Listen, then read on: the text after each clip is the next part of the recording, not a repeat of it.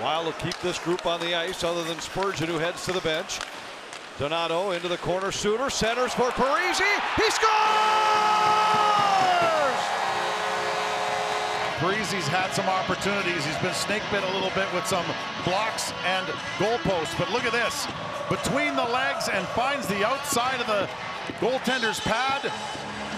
He's being tied up here. Was a little handcuffed on the play. What a goal by Zach Parise as he uses what he had left. And that was getting the stick between the legs and firing it to the other side.